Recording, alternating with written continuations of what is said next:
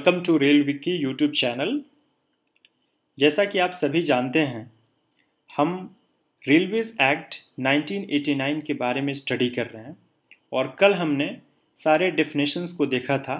आज हम उस सिलसिला को आगे बढ़ाते हुए चैप्टर टू देखते हैं, जो कि रेलवे एडमिनिस्ट्रेशन से डील करता है।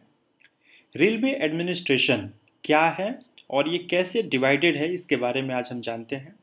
जैसा कि आप सभी जानते हैं रेलवे का स्ट्रक्चर जो है जो डिसीज़न मेकिंग स्ट्रक्चर है वो आपका railway board then zonal railway then division तो इस तरीके से ये आ, पूरा का पूरा स्ट्रक्चर्ड है और इसको सेंट्रल गवर्नमेंट नोटिफिकेशन नोटिफिकेशन जारी करके बनाती है ताकि जो है इफ़िशियंट एंड स्मूथ एडमिनिस्ट्रेशन हो पाए।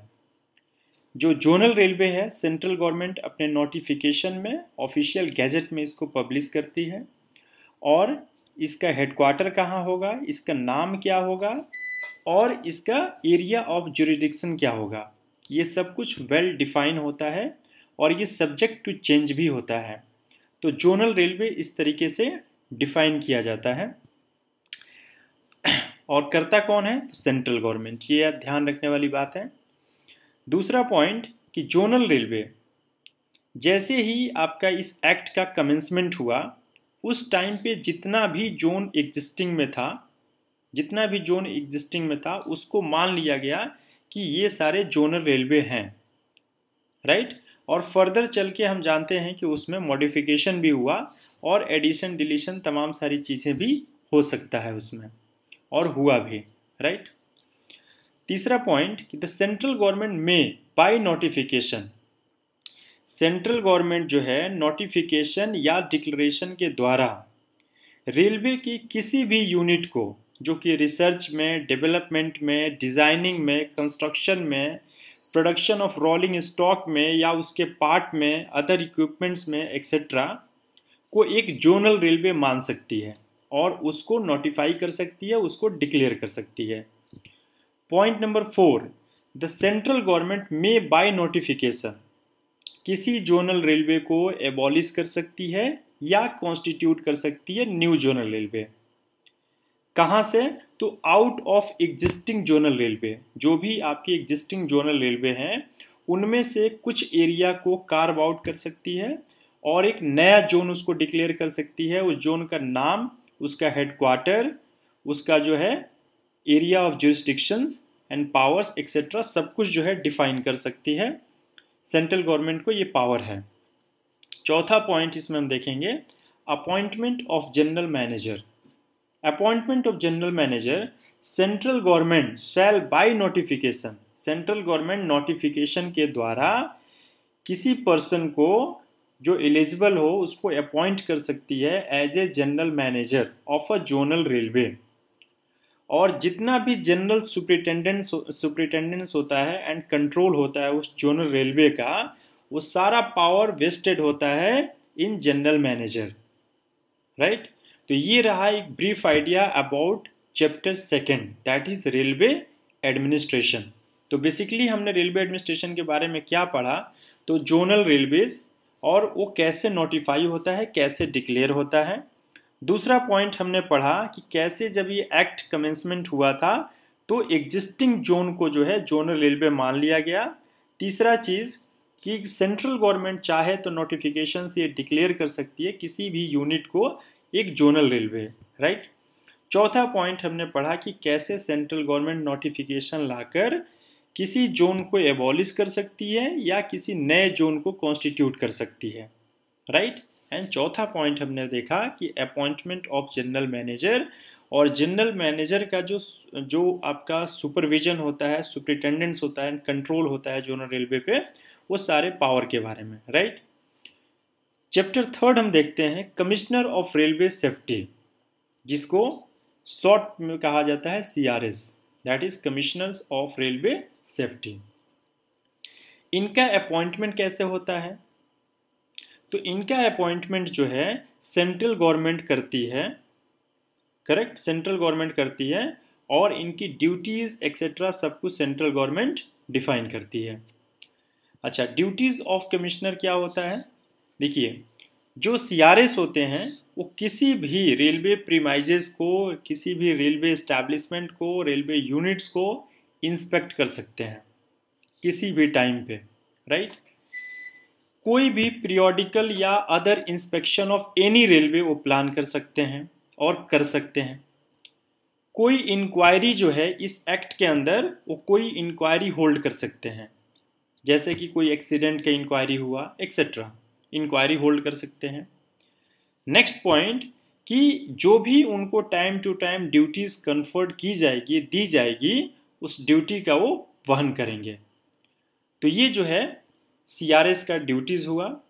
पावर्स ऑफ़ कमिश्नर क्या होता है? Subject to the control of the central government जो पावर्स ऑफ़ कमिश्नर होता है, उसको सेंट्रल गवर्नमेंट कभी भी वो कंट्रोल कर सकती है, कभी भी उसको ऑल्टर कर सकती है, बढ़ा सकती है, घटा सकती है as per needs of this act और the purpose of this act right next point कि enter upon and inspect any railway और any rolling stock used there on CRS जो है, किसी भी रेलवे के प्रीमाइजेज में प्लेस में कहीं भी इंटर कर सकता है और रोलिंग स्टॉक को या किसी भी ऐसे चीज़ को इंस्पेक्ट कर सकते हैं नेक्स्ट पॉइंट कि by order in writing address to a railway administration writing में जो है किसी भी रेलवे एडमिनिस्ट्रेशन को, वो जो है अटेंडेंस उनका सीख कर सकते हैं राइट right? किसी भी रेलवे सर्वेंट का अटेंडेंस सीख कर सकते हैं और उनसे आंसर पूछ सकते हैं, कोई डॉक्यूमेंट मांग सकते हैं,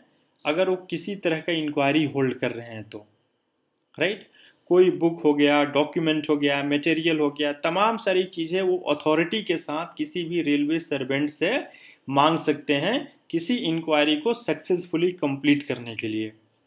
तो that's the power of CRS जो ये सीआरएस होंगे, वो एक पब्लिक सर्वेंट होंगे।